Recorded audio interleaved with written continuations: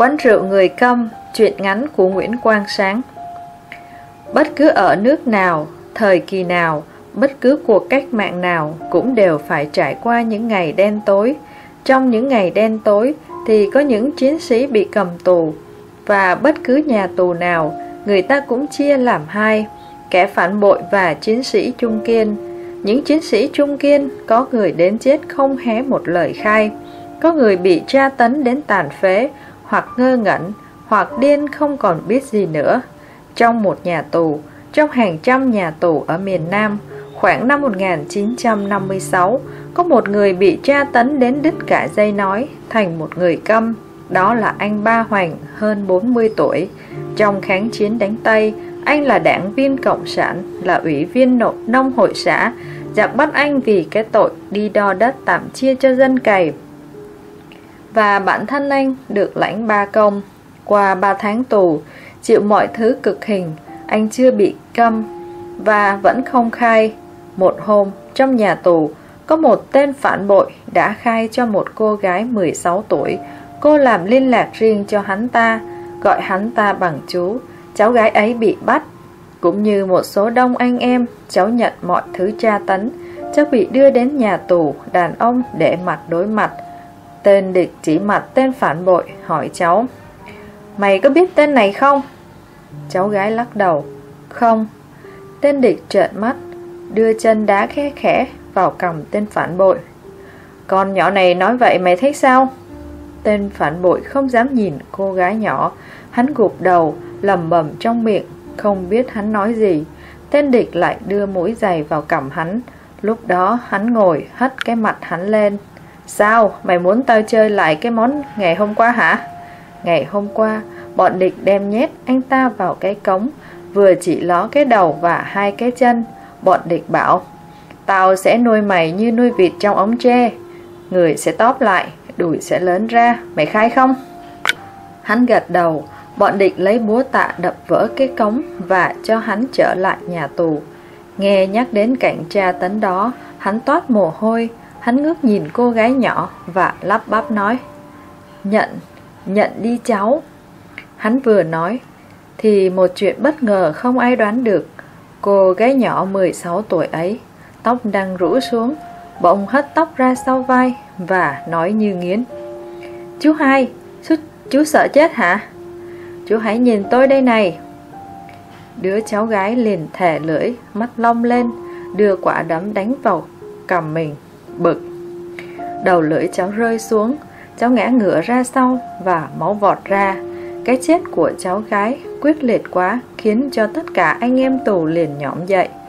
Nhưng chân của họ bị còng Còng bị kéo tới. Tay họ vồ vào kẻ thù, Bọn địch bỏ xác người con gái nhỏ lại, Chen nhau tuôn ra, Đập song sắt và rút súng ngắn chĩa vào tù nhân. Anh ba Hoành chụp lấy cái đầu lưỡi của cháu gái và nhổ một bãi nước miếng vào mặt tên phản bội. Anh để cái đầu lưỡi nhỏ lên bàn tay, bàn tay xòe ra, anh đưa chậm chậm qua mắt anh em. Anh, tay anh run lẩy bẩy và nước mắt anh cứ xối xả. Sau đó ba ngày, trong một trận tra tấn, khi một tên địch dùng bù lon đập lên cổ anh, anh ngã quỵ xuống, dãy một lúc, miệng há ra rồi ú ớ. Bọn địch hỏi gì, anh cũng ngẩng mặt ngơ ngác. Cái ngơ ngác của một người điếc Và miệng cứ há ra. Hàm dưới đưa qua đưa lại một cách khó nhọc Và cứ ú ú ớ ớ. Bọn địch trả anh lại nhà tù Và cho người rình. Đối với anh em, Anh cũng ú ớ và ngơ ngác như vậy. Bọn địch lại tra cái miệng câm của anh. Chúng bắt anh phải nói, Qua ba trận tra tấn, Anh câm luôn. Cả cái tiếng ú ớ Anh cũng không ú ớ được nữa. Bọn định đưa anh vào nhà thương để xét nghiệm. Sau, sau nhiều lần tra tấn bằng các thứ thuốc Bác sĩ kết luận Tên tù này câm thật. Chúng đánh người cốt để moi lấy lời khai. Người tù này câm rồi Đánh nữa chỉ mệt xác. Bỏ tù cho tớn cơm Chúng thả anh ra. Anh Ba Hoành vốn là con người lực lưỡng Một tay phát thế nổi tiếng ở nhà tù về, anh chỉ còn có bộ xương, lại câm. anh không thể cầm nổi cái phản được nữa. Nhưng nếu còn sức cầm phản thì anh cầm phản nữa làm gì? ba công đất của anh bị giật mất rồi. Anh câm, anh hết cả sức lực, nhưng anh còn sống. Anh sống vì người vợ, vì ba đứa con, và vì cái gì nữa ai mà biết được. Anh còn sống và phải sống, muốn sống thì phải có cái ăn. Anh phải nuôi vợ và ba đứa con. Anh có vợ muộn, vì nghèo mà phải lấy vợ muộn. Anh nghèo thật, nhưng anh cũng không phải vì nghèo mà không lấy được vợ. Lúc còn trai trẻ, anh được một người yêu, đó là cô gái đẹp ở xóm.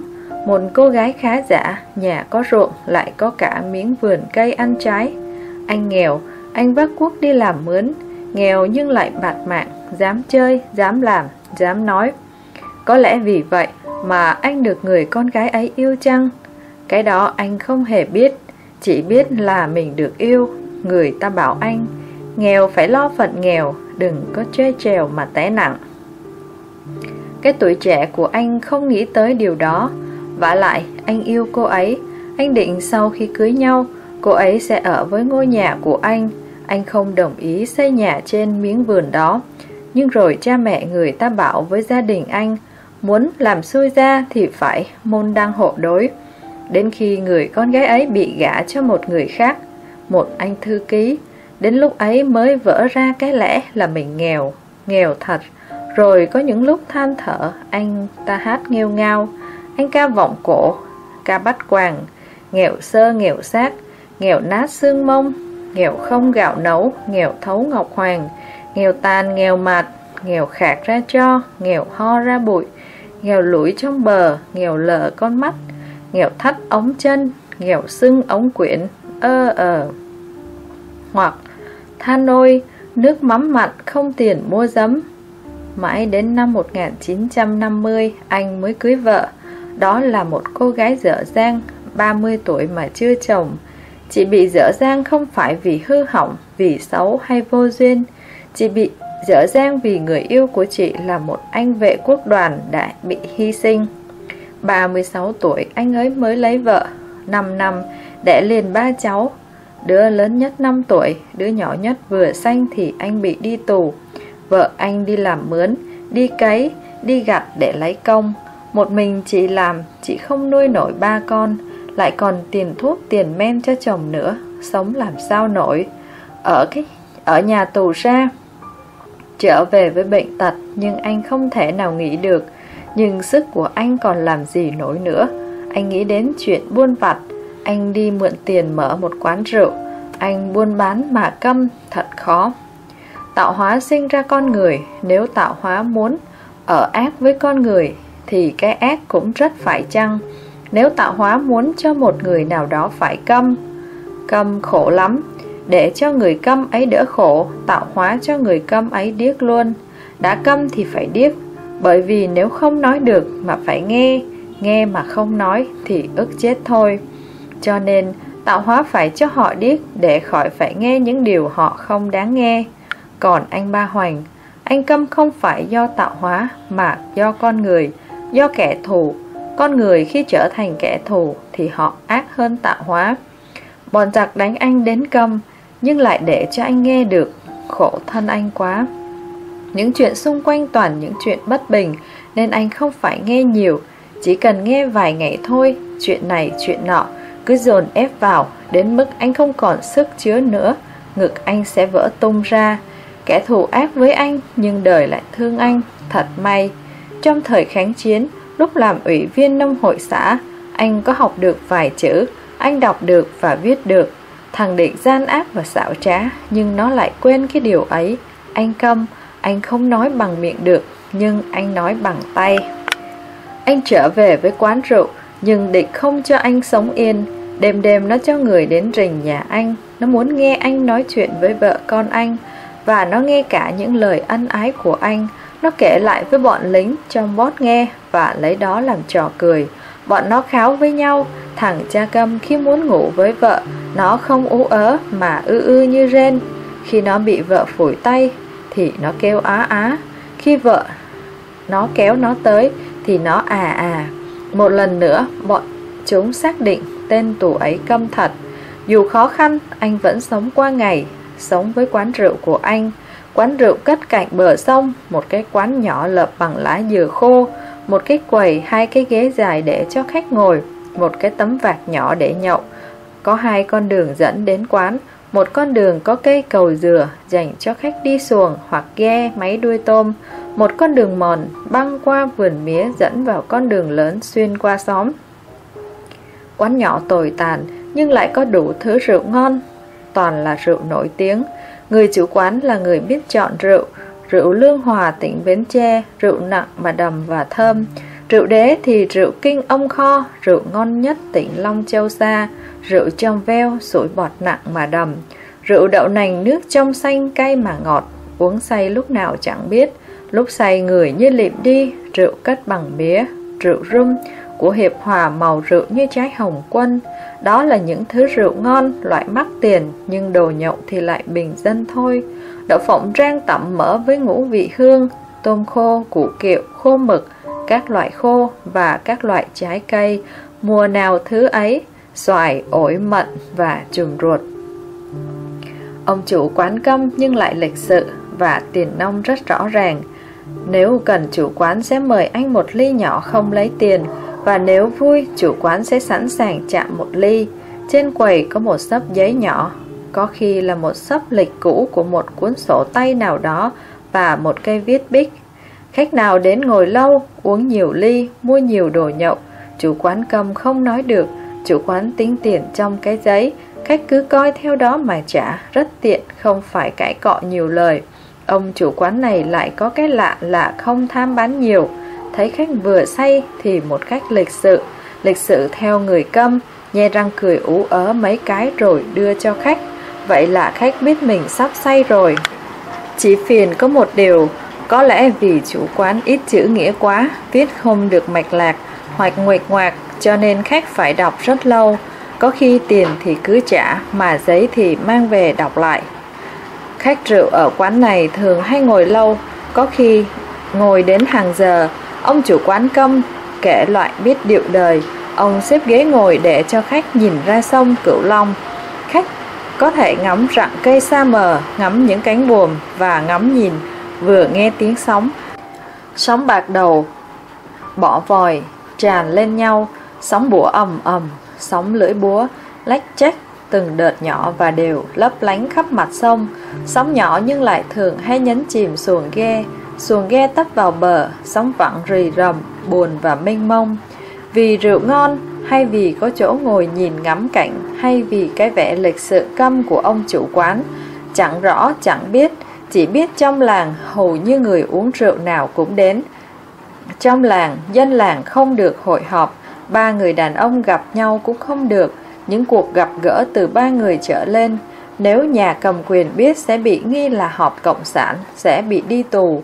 Còn ở cái quán rượu này, buồn đến nỗi đàn bà cũng uống rượu nữa, con gái thì chưa uống ghiền nhưng cũng đến mua, rượu vào thì lời ra. Bọn xâm lược Mỹ và tay sai không cấm được điều đó, thật tội nghiệp cho ông chủ quán cơm, Không phải ông phải nghe chuyện của những thằng uống rượu, chuyện của những thằng say, nhưng cũng thật hạnh phúc cho ông. Ông toàn nghe những chuyện thật, bởi vì không ai dám nói thật bằng những thằng uống rượu, những thằng say. Lúc bình thường giận đời giận người, họ không dám chửi, uống rượu vào họ chửi thẳng chẳng sợ ai. Lúc bình thường có những sự thật vì lẽ gì đó mà không dám nói, uống rượu vào họ nói tất. Những người khách rượu này họ nói tất cả những sự thật của làng. Chú hai ở cuối xóm bị bắt, bị đi tù, thằng xếp đến bắt hiếp vợ chú. Nhà chị ba một người đàn bà quá, bị lính moi hầm, dưới hầm có một anh kháng chiến cũ, chỉ bị nhà cầm quyền buông tội lấy Việt Cộng. Hai người đều bị bắt, nó banh hai người phải ngủ với nhau. Anh kháng chiến cũ không chịu, nó lột quần áo cả hai người, trói lại, bắt nằm chồng lên nhau, rồi dí điện. Chị ba chết để lại ba đứa con. Còn sáu có chồng đi tập kết, bị bọn lính ép quá, chịu không nổi, nó cạo đầu rồi, định đi tu. Nửa đêm, một chiếc tàu sắp cập bến, bọn lính ùa lên nhà một gia đình không có đàn ông, dí súng vào lưng đàn bà con nít, lùa xuống tàu, phóng lửa đốt nhà rồi chở đi, chẳng biết đi đâu. Ông Năm, một ông già điếc hơn 60 tuổi vừa bị lính bắt, người ta không hiểu sao ông bị bắt, Trong tù ông không khai. Có người bảo ông là người kháng khái. Có người bảo ông có gì để khai mà không kháng khái. Thằng Chín có vợ có con rồi mà còn ve vãn con nhỏ gọi bằng chú. Nó bị phản đối, nó đâm ra thủ án người ta. Nó phao tin đồn nhảm định làm hại cô ta. Cô gái đang bị bọn công an áo đen theo dõi. Đối với những thằng xa đoạn như thằng Chín Cần phải cảnh giác. Thằng Tư nó đầu hàng rồi. Nó khai nó làm chỉ điểm cho địch. Nó mang kiến đen Nó lãng vãng ở ngoài bến xe. Nó vừa chỉ bắt một người đàn bà. Nhà ông Tám bị khui hầm Ông lấy ngực đỡ đầu súng Anh cán bộ chạy thoát Ngực ông bị bắn nát. Chuyện trong làng, trong huyện, trong tỉnh Và chuyện của cả miền Nam Toàn những chuyện đau thương Ngày nào cũng có. Mỗi ngày một chuyện Có khi hàng chục chuyện. Ông chủ quán câm Đầu óc bùm xùm Mặt hốc hác. Người gầy gò Mặc bộ bà ba rách Ngã màu cháo lòng.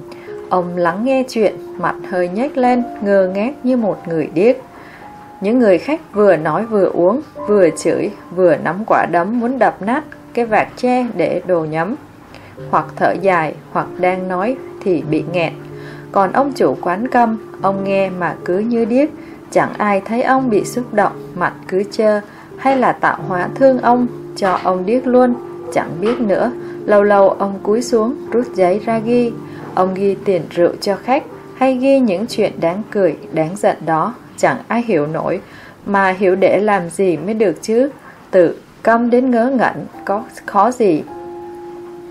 Lúc ông ta cúi cái đầu bùm xùm xuống quầy, hai tay khuỳnh ra, mặt nghiêng nghiêng, tay ghi ghi, miệng há hốc, dáng điệu của ông ta đúng là dáng điệu của một thằng ngớ ngẩn, lúc ghi, lúc viết, miệng ông ta như không ngậm lại được, khi khách hàng ra về và quán vắng, ông rót ly rượu kinh ông kho, rót đầy.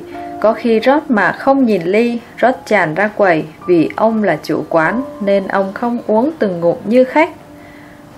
Ông uống cạn một hơi, nói cho đúng thì ông không uống mà ông đổ. Uống thì phải nhấp, phải chén, phải khà, phải thưởng thức cho hết chất cay, chất nồng của rượu. Còn ông, với cái miệng vốn há hốc của ông, Ông ngước mặt rồi cầm ly rượu đưa lên cao đổ xuống. Hình như rượu không đụng đến lưỡi. Rượu đổ ngay vào đốc họng rồi tuôn thẳng vào lòng ông. Ông uống rượu mà như uống thuốc độc vậy. Uống xong, mặt ông không đỏ mà tái. Ông ngồi im, miệng há hốc, mắt lờ đờ. Đừng thấy dòng sông lặng lẽ Mà bảo dòng sông không có sóng. Sóng đang nổi lên từ dưới đáy Người ta gọi đó là sóng ngầm.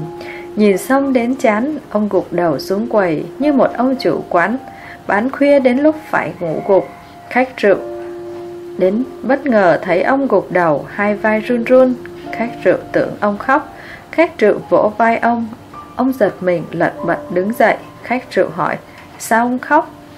Ông lắc đầu ú ớ, đưa tay chỉ vào mắt, con mắt khô quánh, ý ông muốn nói, tôi khóc hồi nào? Nhưng khách rượu không tin. Thấy đôi vai run của ông Khách rượu đoán là ông khóc. Có điều là người khách có thể tin Là con mắt của ông không ướt Con mắt khô nhưng miệng chảy nước dãi. Khách rượu ấy kết luận Ông khóc thật Nhưng không phải khóc bằng nước mắt Mà ông khóc bằng nước miếng. Đó là kiểu khóc đặc biệt của người câm. Trong làng trong cả miền Nam, nhà nào cũng có người bị bắt, bị giết, những nhà bị tan nát, con người sống không yên, người ta phải đứng dậy từ 1 đến 10, từ 10 đến trăm, từ trăm đến ngàn, rồi cả làng, hầu hết đàn bà trong làng họ kéo nhau ra đồn bót, ra huyện, ra tỉnh, kéo nhau đi cả Sài Gòn nữa. Họ bắt kẻ thù phải công nhận cho họ là con người đang sống và có quyền sống. Những cuộc biểu tình ấy, nếu đi xuồng, đi ghe máy đuôi tôm hoặc đi tài, thì qua bến chủ quán rượu, cái bến của quán rượu người câm lúc nào cũng nổi sóng. Nếu đi bộ thì đoàn người đi ngang qua con đường sau quán. Ông câm nhưng ông thấy, ông nghe và ông biết. Đi đấu tranh xong trở về Người ta lại ghé vào quán rượu của ông. Người vào quán ông bất cứ lúc nào Về lúc nào ghé lúc ấy. Có khi vừa tối, có lúc nửa đêm Người ta ghé vào để uống rượu và nói chuyện và bàn cãi. Nhờ có nhiều khách hàng, Đêm đêm ông thắp đèn khí đá. Ông vừa bán vừa nghe chuyện. Địch nó bắn người ta cứ tràn lên. Một người bị bắt cả ngàn người cứ đứng vây cửa nhà tên quận. Họ hét cho đến lúc nó thả ra mới chịu về. Bọn địch nó biết khi mà đàn bà đứng dậy Thì chẳng có sức mạnh nào bằng. Nó sợ đàn bà, Nhưng nó lại biết chỗ yếu của đàn bà. Đàn bà không sợ bị bắt, Không sợ bị tù, Không sợ súng. Không sợ chết Nhưng lại sợ nhục. Nó không bắn Nó sai lính đi tuột quần từng người. Ồ, chuyện ấy có gì khó? Đàn bà đi đấu tranh người ta không mặc quần thung hay quần lưng rút nữa. Người ta mặc quần gài nút Giật quần không tuột. Nó bắt từng người lấy kéo cắt đầu tóc Mái tóc dài và đầu tóc sau ót. Đó là vẻ đẹp của người đàn bà Việt Nam. Những người đàn bà khi đã bước vào đấu tranh Người ta không sợ mất cái vẻ đẹp đó. Chồng họ cũng không sợ. Một hôm có một anh chồng ra quán rượu cơm đón vợ. Thấy vợ buồn vì mất cái đầu tóc. Trong lúc mọi người đang ồn ào Anh kêu lên Sao mình buồn? Mình sợ tôi chê mình xấu à? Ông cầm, ông cho tôi một ly rượu Rượu rum hiệp hòa ấy. Anh chồng uống cạn một ly. Uống xong anh lấy rượu Làm nư. Anh ôm lấy vai vợ Rồi cúi hôn lên cái ót trần của vợ. Vợ anh đẩy ra, Người ta cười ồ lên, Người ta vỗ tay. Anh chồng ấy có rượu rồi, không lấy đó làm thẹn. Anh ngã ra cười ngất. Đã lâu lắm rồi, Người ta mới thấy ông chủ quán cơm cười. Khi ông cười, Mặt ông thảm hại làm sao? Mặt ông nghiêm, Nhắm một con mắt, Miệng méo, Cười xong Ông rót thêm hai ly nhỏ Đưa anh chồng ấy một ly Hai người cùng chạm và uống cạn Lại một lần khác Bọn địch không cắt tóc nữa Chúng dí xuống vào từng người Đè họ xuống giữa chợ Cởi quần áo Bọn địch muốn làm nhục họ, chúng muốn cho người khác bỏ chạy. Bỗng một bà già, gọi là bà Tư Trầu, vì bà ăn trầu luôn miệng và kêu lớn. Thân thể của người đàn bà là vẻ đẹp thiêng liêng của họ, nhưng đến lúc cần phải giành lại tự do độc lập và quyền sống, họ sẵn sàng hy sinh tất cả. Khi bà Tư Chầu ra lệnh, thế là cả ngàn người đàn bà, bà già, người có chồng, người còn con gái, tất cả liền cởi hết và họ xếp lại thành hàng. Họ thành một đạo quân ngang nhiên lạ lùng diễn qua trước mắt kẻ thù Kẻ muốn làm cho họ nhục Thì chính họ lại thấy nhục Những thằng giặc ấy Chúng mặc quần Áo tay cầm súng Nhưng chúng phải bỏ chạy Người ta nói chuyện ấy trong quán rượu Ông chủ quán công liền rót đầy một ly rượu màu hồng quân trịnh trọng đưa cho bà Tư Chầu và rót nhiều ly khác cho những bà, những chị, những em đang có mặt. Những bà, những chị, những em đều uống cạn những ly rượu do người câm rót ra. Rượu ấy là rượu đặc biệt do chính tay chủ quán cất bằng trái cây, rượu dành riêng cho đàn bà, rượu không cay nồng, rượu ngọt và rượu uống không say. Giặc lê máy chém đến, chúng giết bà Tư Trầu và giết nhiều người khác nữa. Trong làng, có thêm những đứa bé chăn chít khăn tang. Các quán rượu không còn ồn ào nữa, nhưng quán rượu của người câm không vắng khách. Những người ghiền, những người say lại đến với quán rượu Bỗng một ngày, không một khách rượu nào đến Ngoài đường cũng chẳng thấy ai đi dưới bến chẳng có một chiếc xuồng ghe nào qua lại. Người chủ quán cơm chỉ còn biết ú ớ Cũng chẳng có ai để cho ông ta ú ớ nữa. Trong làng chỉ còn nghe tiếng sóng. Sự im lặng của mọi người đang nín thở ấy kéo dài gần nửa đêm Như một hơi thở dài bị đè ép bỗng chút ra. Bất thần, cả làng bỗng dấy lên.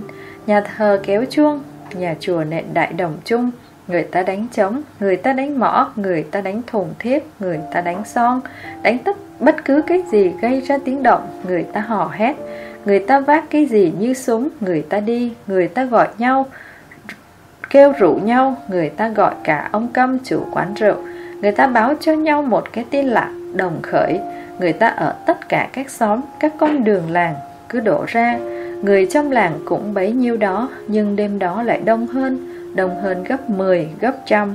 Người kéo đi cuồn cuộn Kéo tràn đến đồn bót giặc. Người ta cho nổ những tiếng nổ lớn. Bọn giặc trong đồn trong vót hoảng hốt Nghe những tiếng nổ, tiếng trống và mọi tiếng vang dội lên mỗi lúc một dữ dội.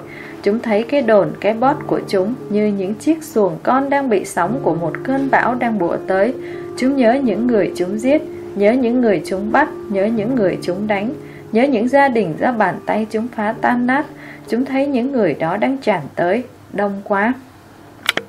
Chúng không thể biết được bao nhiêu Với súng, với đạn của chúng Chúng có thể giết được hàng trăm, nhưng khi hết đạn, chúng không thể sống được.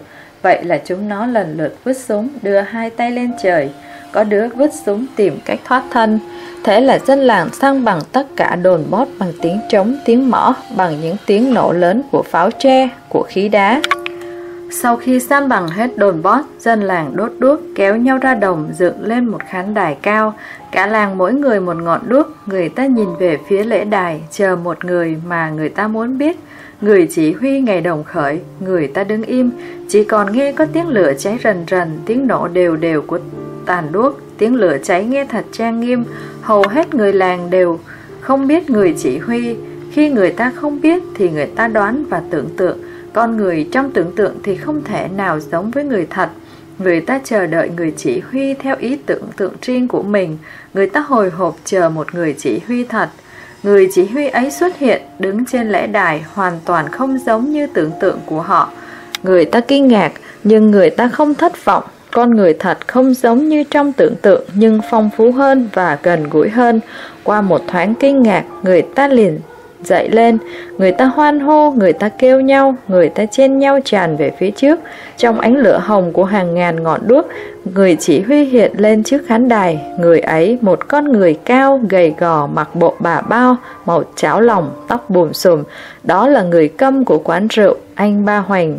Anh mọc đầu chào dân làng, rồi nhón chân, đưa hai tay chào, rồi đưa tay vuốt ngực và cất tiếng. Bốn năm nay tôi không nói, không phải tôi câm, mà tôi im lặng.